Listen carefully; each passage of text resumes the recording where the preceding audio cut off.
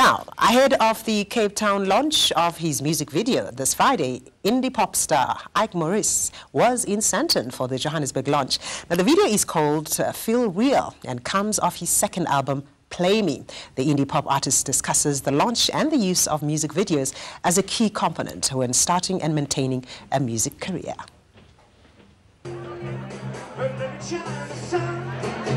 The scene was set as Ike Moriz took to the stage, allowing the crowd to sample some of his talent.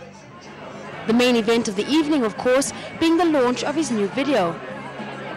He explains the video is a reflection of his life when he experienced personal change on his return to the country after five years in the UK.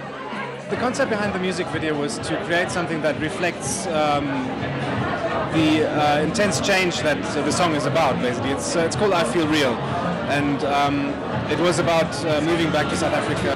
In the video, we also wanted to show uh, the feeling that um, the feeling of giving up absolutely everything, and um, by doing so, actually gaining everything. That's why you know in the song it's called "When All Is Gone, All Is Won."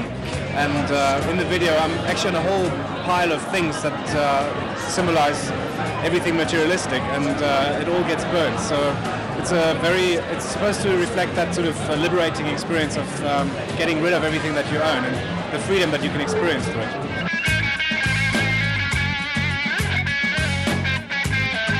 While his video is produced here in South Africa, Ike does point out that not all videos made locally are up to scratch.